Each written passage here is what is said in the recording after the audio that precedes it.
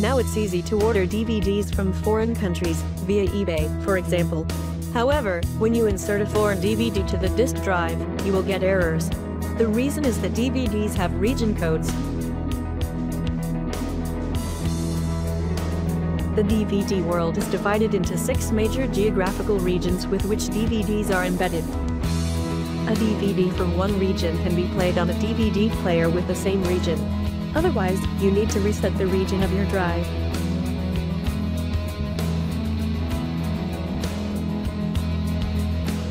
One, Power on the DVD player. 2. Open the DVD tray and don't insert a DVD. 3. Push setup on the remote, select Preferences, Region. 4. Select Region 0-9 using the up and down button. However, once you have set the region in DVD player 5 times, it will be locked to the last set region forever. But you can remove the DVD region code permanently.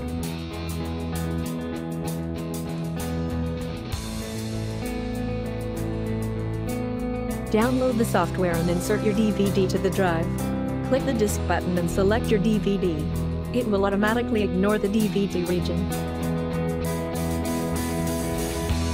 Then select an output profile from the window. There are options to rip DVD to Apple, Android, YouTube, and many more. Generally, you can rip DVD to MP4. Back to the main interface, select a folder to save the output file.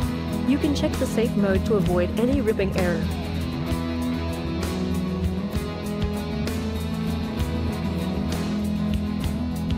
Then just click the big Run button to start.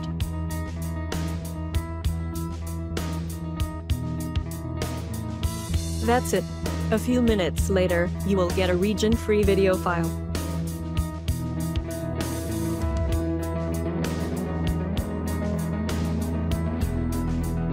Check the output video file. It's almost the same quality as the original DVD but it's region-free.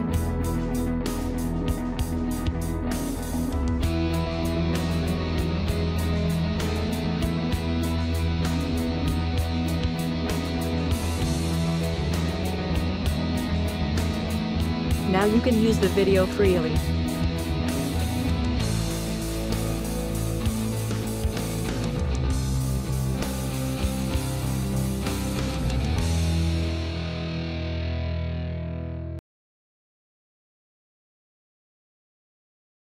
Thanks for your watching. If you enjoy the video, don't forget to subscribe our channel for more videos. See you in the next video.